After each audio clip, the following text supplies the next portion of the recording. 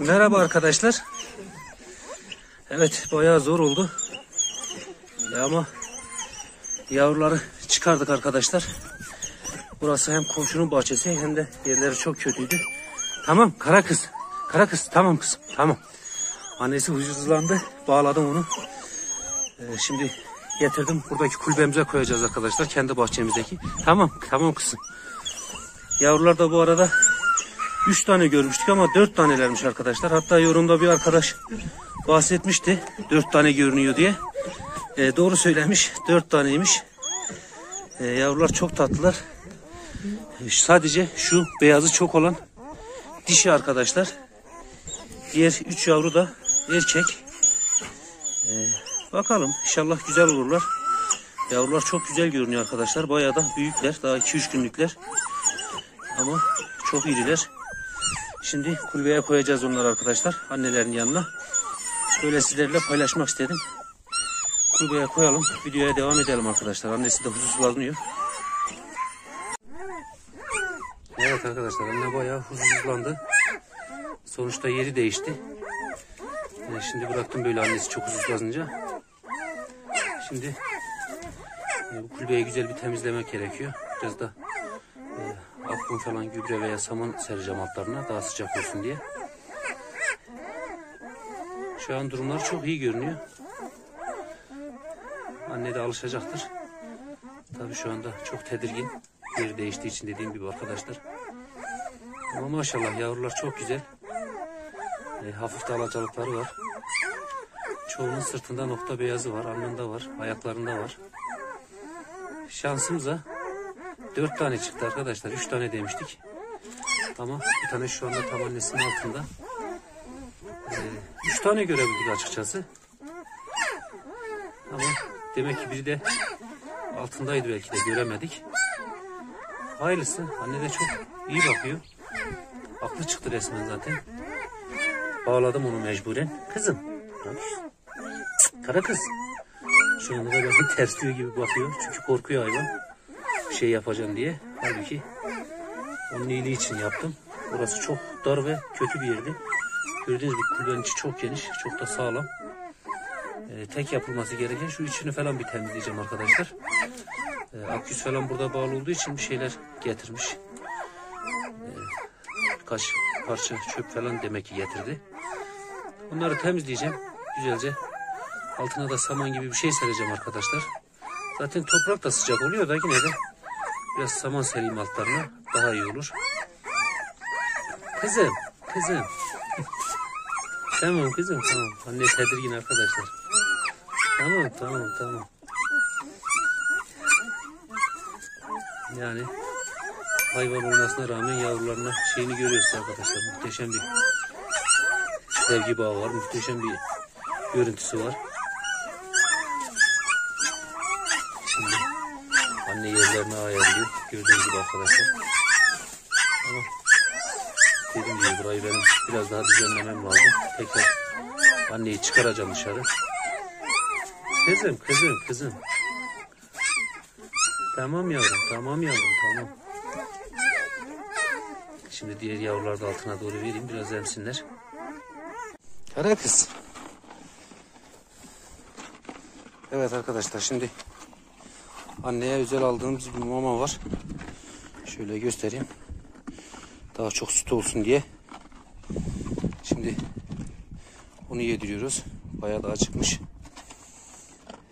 E, yavruların da yerini yaptım. Şimdi annenin karnını doyurduktan sonra orayı da göstereceğim. Temizledik. Altına saman falan serdik. Çok güzel oldu bence kulübeleri. Dur bakayım kızım. Duymadın. Dur kızım. Maşallah bayağı da iştahlı anne. Yemesi çok iyi. Tabi yavrular olduğu için emzirdiği için çok enerji kaybediyor. O yüzden de çok güzel de yiyor maşallah. Yemesi bir yandan da çok iyi çünkü yavrulara daha iyi besler, daha iyi süt verir. Yeter ki o yesin. Dediğim gibi özel bir mama aldık onun için ayrıyetten. Süt daha süt yapsın diye. Yine atı, e, ekmek falan, yemek suyu, köpeklere diğer verdiğim, pişirdiğim etlerden de takviye olarak veriyorum ama mamayı ayrıyetten veriyorum. Kulübeler de çok güzel oldu arkadaşlar. Şimdi yediler, karnı doyursun. Kulübelerini de göstereceğim size arkadaşlar. Evet arkadaşlar gördüğünüz gibi kulübelerini düzenledik. Yerleri de çok güzel oldu. Anne de alıştı hemen. Benimsedi yerini. Anneyi de doyurduk. Annenin de karnı doydu. Şimdi yavrularını doyuruyor arkadaşlar. Çok güzel oldu yerleri. Saman falan serdik altlarına. Maşallah yavrular da çok sevimli. Ee, geçen gördük ama çok yakından göremedik. Çünkü biraz yerleri derin de uzaktan çektim. Ee, üç tane görmüştük. Yanılmışız. Dört taneymiş. Dediğim gibi arkadaşlar. Üç tanesi erkek. Bir tanesi dişi. Dişi olan da az önce gösterdim. Boynunda beyazlığı çok olan. Hepsinin boynunda beyazlık var. Ama çok az. Bir tanesinde fazla var. O da dişi olan yavru. Diğer üç yavru da erkek. E, Daha önceki videoda da bahsettim arkadaşlar. Yavruları evet sahiplendireceğim. E, Çünkü köpek sayım çok fazla. E, Yeni doğacak dişiler de var. Daha önce de bahsetmiştim. Doğuracak.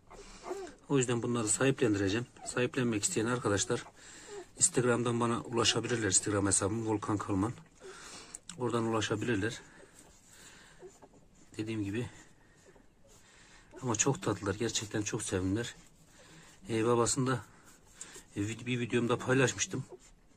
Videosunu atmıştım babasının. Oradan da görebilirsiniz. E, tabii ki arkadaşlar çok soran oluyor. Herkes hediye etmemi istiyor.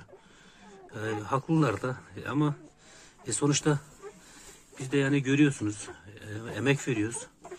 E, uğraşıyoruz. Mamasıydı, iğnesiydi, ilacıydı. Yani bunlar açıkçası hep e, maddiyatla olan şeyler.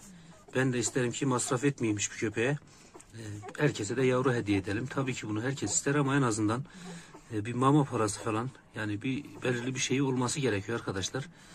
E, Onu açıklık getirmek istedim çünkü soran çok oluyor.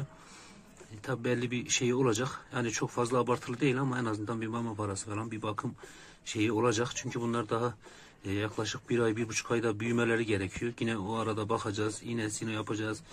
İşte sütünü vereceğiz. Yani sadece anne doyurmayacak bunları. Birkaç gün sonra annenin sütü yetmemeye başlayacak çünkü. E, bunları biz yapacağımız için yani e, belli bir şey olması gerekiyor ki biz de köpeklerimize e, daha iyi bakabilelim. Yani görüyorsunuz çok fazla köpek sayımız var. E, bunlar da tabii ki bir şeylerle bir emekle oluyor. E, bunları da daha iyi bakabilmemiz için bir, bir geliri bir şeyi olması gerekiyor ki bir de köpeklerimize e, daha iyi bakabilelim. Yani çok zorlanıyorum arkadaşlar bildiğiniz gibi değil. Kolay değil yani o kadar köpeğe bakmak. Etiydi, sütüydü, mamasıydı, iğnesi, ilacı. Görüyorsunuz yani bunlar e, hep herkes de bunu çoğu insan da biliyordur zaten. Ama işte bazı arkadaşlar hemen yanlış anlıyorlar. Yok köpek mi satmaya başladın? Yok böyle mi oldu? Öyle düşünmeyin arkadaşlar. Bir emek var sonuçta ve bir e, masraf var. E, Bir aileyi de yani bu çok yoracak bir şey. Yani tek kişinin üstünden kalkabileceği bir yük değil. E, Sizden de anlayış bekliyorum o konuda. İnşallah siz de anlayış gösterirsiniz. Hayırlısı bir de köpekleri vereceğimiz kişiyi özellikle e, iyi tanımam gerekiyor. Yani tanımam derken yerini şeyini bilmem lazım. Köpeklere nasıl bakabilecek mi? E, öyle bir imkanı. Yani köpeklerin de günahına girmek istemiyorum. İyi bakacak arkadaşlar lütfen bana ulaşsın. Yani böyle boş muhabbet için aramayın arkadaşlar. Ben bakarım ben de şey yaparım diye düşünmeyin. Gerçekten bakabilecek, sahip çıkacak arkadaşlar bana ulaşsın lütfen. Durum böyle arkadaşlar. Bu konu hakkında da bir açıklık getirmek istedim. Dediğim gibi yavrular çok güzel arkadaşlar. İnşallah daha da iyi olacak. Anne de çok iyi bakıyor. Biz de anneye çok iyi bakıyoruz. Mamasıydı, iğnesiydi, ilacıydı her şeyini yapıyorum. Durum böyle. Ee, şimdilik herkese çok teşekkür ederim. Umarım siz de beni anlayışla karşılarsınız bu konuda. Ee, Bir sonraki videoda görüşmek üzere arkadaşlar. Hoşçakalın.